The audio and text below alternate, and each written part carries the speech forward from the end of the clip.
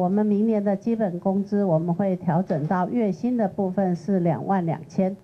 经过长达七小时的马拉松式讨论，基本工资审议委员会十八号下午作出结论：从二零一八年一月一号开始，基本工资从原本的两万一千零九元调涨至两万两千元，涨幅百分之四点七二。基本时薪也从一百三十三元调涨至一百四十元。虽然这跟劳方期望的二十七 K 有不小差距，但劳方代表认为虽不满意，但仍可接受。劳方我们调到二十二 K，这是我们呃一直一直从。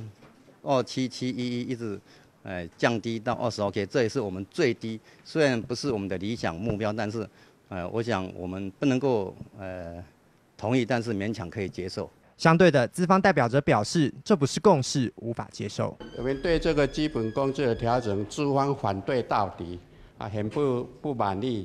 最后是部长自己政治性裁决，我们不接受这种政治性裁决，是由第三方的委员。去讨论决定的金额，啊，而不是劳资双方共识的金额。对基本工资审议委员会的决议，劳动部长李美珠也做出说明。这个不是我直接阐述，是因为我们委员经过大家讨论之后，那么有委员提出来，好，有委员提出来，然后我征询了大家委员的意见，这个部分终归会增加资方的一些负担，所以呢，资方在最后的时候啊，的确他们有表达说，这样资方他们觉得他们需要付出的成本会比较多一点，所以呢，他们在会议上也表示他们不不能接受了哈。最后呢，因为我们没有用表决。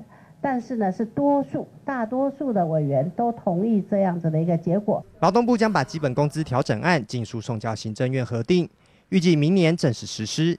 预估将有超过两百零五万劳工因此受惠。经济日报郑锦茂、李嘉宏台北报道。